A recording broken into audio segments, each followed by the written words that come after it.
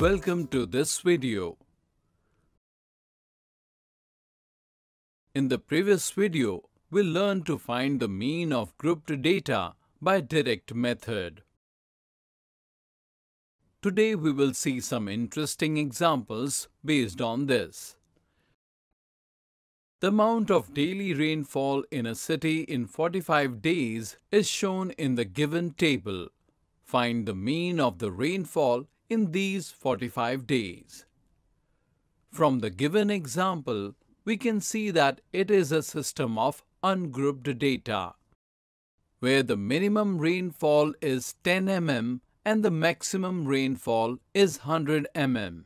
So first, we will construct an ungrouped frequency distribution table which will represented as follows. Here, we can see that the number of figures is very large. Therefore, to understand this data easily, we will classify this ungrouped data into groups, where the width of grouped data is converted into grouped data by making a class interval of 15 and specify the frequencies of the class intervals that is fi which is shown in the following table. So now can you find the mean with the help of this table?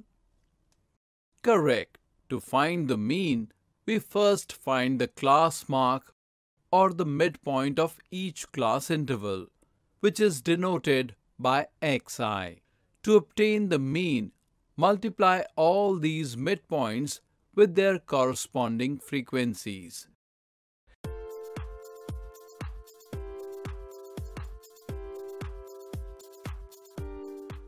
Find the sum, that is 2047.50 and divide it by the sum of their frequencies, that is 45. On solving this, you get 45.50.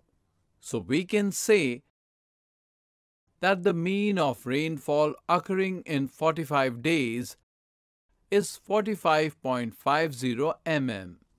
Today in this video, we saw an interesting example based on finding the mean of grouped data by direct method. In the next video, we will see the common mistakes that may be made while finding the mean of grouped data by direct method.